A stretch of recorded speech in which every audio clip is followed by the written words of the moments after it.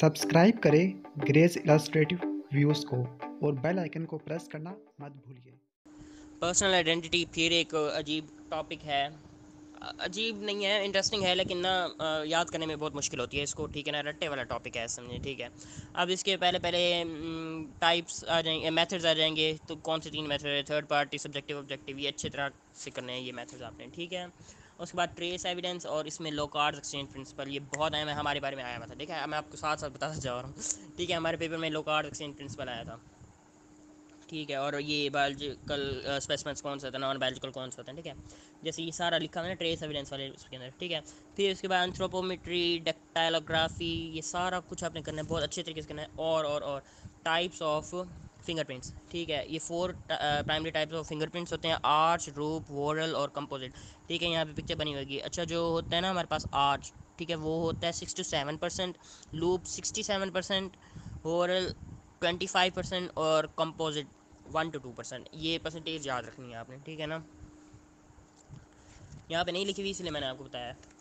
बाकी determination of sex और अ, हाँ ये ऑन द बेसिस ऑफ़ क्या?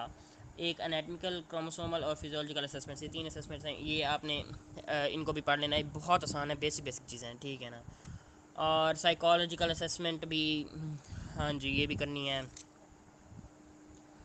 अच्छा फिर उसके बाद बोन्स आ जाती हैं, ठीक है ना? सारा आगे मसला असल यहाँ से शुरू होना है बोन्स से, ठीक है ना? जो अक्सर भूल जाती हैं हमें, ठीक है ना? अब इनको अपने खैर एनेटमी में भी पढ़ा होगा फ़र्स्ट ईयर में ठीक है ना? पेल्विस है और स्कल ठीक है ना? इनको इनकी जो टेबल्स है ना टेबल 5.4 टेबल 5.5 ये बहुत अहम है ये कर लेना। उसके बाद स्टर्नम के हवाले से कुछ है बात ठीक है ना? हम्म, ये सारा चैप्टर आगे सारा करना है ठीक है? ये टेबल 5.6 बड़ा जलील टेबल है लेकिन करना है। टेबल 5.7 इससे भी ज़्यादा जलील है।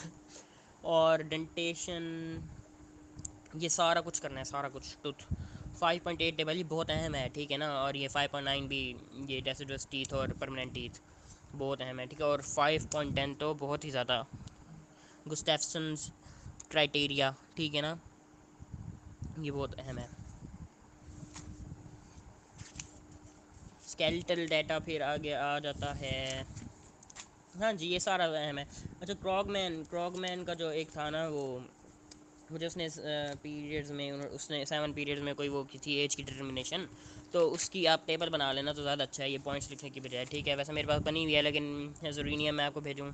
कहेंगे तो भेज देता हूँ, वरना नहीं भेजूँगा। कोई आप खुद भी बना सकते हैं, बहुत आसान है, ठीक है? अच्छा इसके बाद टेबल 5.12 है, ये बहुत अहम है यू क्यू था, ठीक है ना? यानी कि मेंडिबल से हम कैसे एज को वो करेंगे, ठीक है? ये सब करने के बाद जब आप उठाएँगे ना पास पेपर्स आपको ऐसा लगेगा कि आपने कुछ भी नहीं पढ़ा, ठीक है? क्योंकि इतने अजीब गरीब सवाल होंगे ना पास पेपर्स के अंदर बहुत, ठीक है? तो करना आपने ये है कि ना पास पेपर्स को भी अलग से समझ के याद करना है ठीक है ना? अक्सर ये होता है ना कि हम सिर्फ़ थ्योरी पढ़ लेते हैं और कहते हैं पास पेपर अभी नहीं करते बस एंड पे करेंगे जब प्रॉफ होगा। नहीं अब ये पर्सनैलिटी करते करते ना आपने पास पेपर भी साथ साथ करना है। अच्छा और सबसे अहम बात अ, शहबाज में ना सीरोलॉजी सीरोलॉजी के हवाले से ये ये बहुत पर्सनल आइडेंटिटी और सीरोलॉजी आपस में ना इंटरकनेक्टेड हैं एक किस्म के। ठीक है ना? तो सवाल पर्सनल आइडेंटिटी में, वाले टॉपिक में से सीरोलॉजी के हवाले से भी कोई ना कोई सवाल आ जाता है। तो मैं आपको ये कहूँगा कि सीरोलॉजी भी वहाँ से आप कर लें और सीरोलॉजी आपने करनी है शहबाज से। शहबाज का जो एंड वाले चैप्टर होगा ना एंड वाला, ठीक है ना? वो टॉक्सिकोलॉजी के भी बाद वाला, ठीक है ना? एंड पे। वहाँ पे है सीरोलॉजी और उधर हेयर और सीमन और ब्लड हेयर को तो एनिमल और अ, वो जो होता है ह्यूमन हेयर के अंदर डिफरेंस वो पास पेपर में भी बहुत अच्छा लिखा हुआ है लेकिन वो अपने अच्छे तरीके से करना है ठीक है। दूसरी बात ये कि ना अ, ये जो ब्लड स्पेसिमन है अगर हम अगर हमारे पास कोई वो है स्टेन है ठीक है ना तो हमें कैसे पता चलेगा ये ब्लड स्टेन है या कौन सा स्टेन है? और ये एनिमल का ब्लड है या ह्यूमन का ब्लड है कौन से टेस्ट करते हैं प्रेसिपिटेंट टेस्ट करते हैं वैसे बता दो। अच्छा और ना इसके अलावा सीमन के कौन से टेस्ट हैं? तीन। ठीक है ना? तो ये इन टेस्ट के ना नाम याद कर लें फ़िलहाल ठीक है ना? प्रिंसिपल ना याद करें प्रिंसिपल इतने आते भी नहीं। अगर आ भी गया ना फॉर एग्जांपल ये एनुअल प्रॉफ में एक क्योंकि एक दफ़ा आया था जहाँ तक मुझे लगता है किसी कहा था कि ना सीमन के तीन टेस्ट लिखें और उनका प्रिंसिपल लिखें साथ में। ओ मुझे याद आ गया। पता क्या हमारा जो था ना उसमें पार्ट ए तो ये था ना जो मैंने आपको बताया था इसका पर्सनल आइडेंटिटी का। अ, क्या? क्या आया था? अच्छा जो मैंने बताया था, मुझे भूल गया। अच्छा इसका जो पार्ट बी था ना, वो ये था कि हाँ भाई हम सीमन एनालिसिस सीमन एनालिसिस नहीं मतलब सेमिनल स्टेन के लिए हम कौन से टेस्ट करते हैं मेनली तीन, चार, ठीक है? उसके नाम लिखने थे और वो था अभी दो तीन नंबर का सवाल। सिर्फ़ नाम ही लिखने थे ना। ठीक है, नाम लिख रहे शुक्र उसने प्रिंसिपल नहीं पूछा था, क्योंकि प्रिंसिपल अक्सर बच्चों को नहीं आता होता। और अगर नहीं भी आता ना तो कोई बात नहीं, एक आध नंबर जाएगा ना। ठीक है ना, उसके लिए अब हम इतने सारे टेस्टों के प्रिंसिपल क्यों याद करें बैठ के? ठीक है, और जो हमारे काम भी नहीं आने ठीक है ना? वैसे भी हमने फॉरेंसिक साइंस लेबॉर्ट्री में भेजनी होती है, हर सैंपल लेके, ठीक है?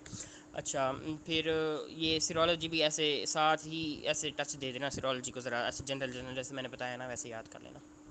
ठीक है, ये आपकी पर्सनल आइडेंटिटी कंप्लीट हो जाएगी।